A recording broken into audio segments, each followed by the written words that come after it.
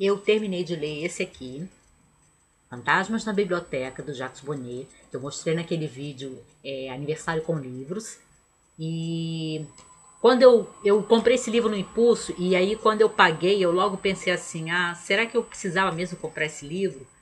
E aí eu fui ler meio, meio temerosa de que fosse muito superficial, né? Que fosse aquele texto assim muito rasteiro a propósito do, do amor aos livros. O subtítulo dele é A Arte de Viver Entre Livros. Mas me surpreendeu. Ele tem uns ensaios muito gostosos que eu acho que todo amante de livros vai encontrar alguma coisa com a qual se identificar. Tem um ensaio sobre arrumar e classificar.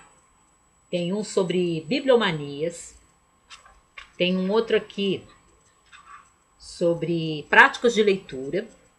E tem aquele que deve ser o mais interessante: personagens reais e personagens fictícios, em que o Bonnet nos diz que os personagens que a gente encontra dentro dos livros são muito mais reais do que os escritores que inventaram esses livros. Os escritores é que são os personagens fictícios. E ele explica por que, que ele está dizendo isso. Bem legal, bem gostoso. Também li esse aqui, da Tess Gerritsen, o Clube Mephisto. Aliás, li os dois, que é um, um dois em um, né? E o Clube Mephisto é dessa série com a, a detetive Jane Rizzoli e a patologista Maura Ailes, Rizzoli Ailes. E eu gostei muito dos três livros que eu li dessa série agora, até agora. Eu quero ler outros. Foi o que eu mais gostei. Eu quase dei cinco estrelas para ele no Scooby, mas tem uma outra coisinha que eu teria feito um pouco diferente. E aí eu teria dado uns 4,5 se o Scooby é, permitisse dar 4,5. Mas eu quase dei 5. Gostei bastante mesmo. Inclusive, quando a gente chega no final, tem um pós-fácil assinado pela Gertsen, em que ela esclarece qual foi o ponto de partida para ela inventar essa história do Clube Mephisto, que é muito interessante. Tem até uma, um arcabouço teológico, ainda que não seja a minha teologia, mas é uma ideia válida, é uma ideia bem interessante, bem original, e no pós-fácil ela conta qual o ponto de partida, né? Que aí ela bolou essa história do Clube Mephisto. E eu acho que vale a pena não só ler o livro, que é muito bom, como esse pós-fácil mostra que os escritores de romances policiais não são aquelas pessoas semi-ignorantes que escrevem para leitores semi-ignorantes as suas historinhas policiais, não. Eu nunca achei isso, mas eu vejo comentários de algumas pessoas falando com tanto desprezo da literatura policial e dos autores de romances policiais que eu acho que pensam isso deveriam ler o pós-fácil que a Ters Gertsen escreveu para o Clube Mephisto e deveriam ler o romance Clube Mephisto. Ela é uma pessoa muito mais informada e com um cabedal de leitura, uma bagagem de leitura muito maior do que esse tipo de é, entendido em literatura ou leitor sofisticado costuma pensar.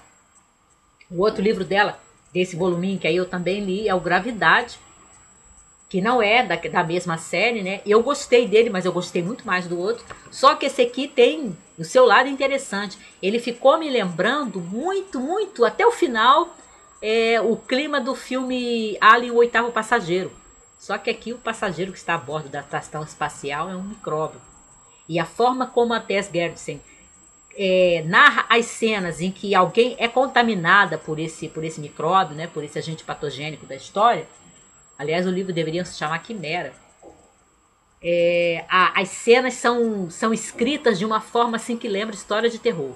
Então é um, para mim é como um alien oitavo passageiro, sendo que o passageiro aqui seria, né, uma ameaça biológica. Muito interessante, muito interessante. Ainda que não tão bom quanto esse, na minha opinião. Mas é a, a história também é boa e a ideia é boa. E o clima. E eu estou lendo ainda o Homem Revoltado do Caminho. Eu estou, eu cheguei hoje na página 183 e eu estou fazendo várias marcas. Tá cheio de, de sublinhados o, a, o meu livro, essa minha edição.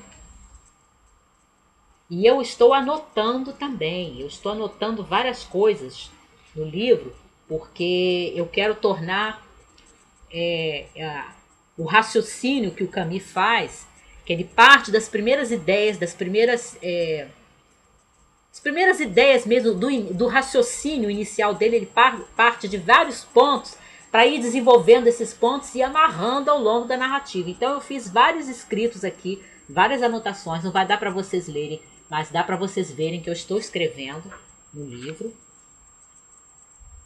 E é justamente para tornar mais claro para mim mesma. E não é um livro que dê para ler rápido, para eu para conseguir fazer uma leitura boa, não uma leitura perfeita. Eu sei que eu não estou conseguindo pegar todas as ideias, captar tudo que o Camus quer passar nesse livro, no Homem Revoltado. Mas para conseguir fazer uma, uma leitura o máximo possível na, na, nas minhas condições atuais, no meu momento atual, o máximo possível, uma leitura boa, uma leitura proveitosa, eu tenho que ler ele devagar. Ele tem 351 páginas, eu tô tá 183. E ler ele devagar e assim, fazendo anotações e sublinhando. Fazendo anotações e sublinhando. Mas está muito bom. E o outro que eu tô lendo, que é assim a leitura recreativa, né, para alternar com aquele ali, é o A Livraria 24 Horas do Mr. Penumbra, do Robin Slow. Eu cheguei, passei da página 110 até agora e tá gostoso, a, a escrita dele é boa, mas eu tô achando que ele tá demorando um pouquinho para revelar qual é o final de contas o mistério dessa, dessa livraria do, do Mr. Penumbra. Porque o livro tem 288 páginas, eu passei das 110 e até agora eu tô voando.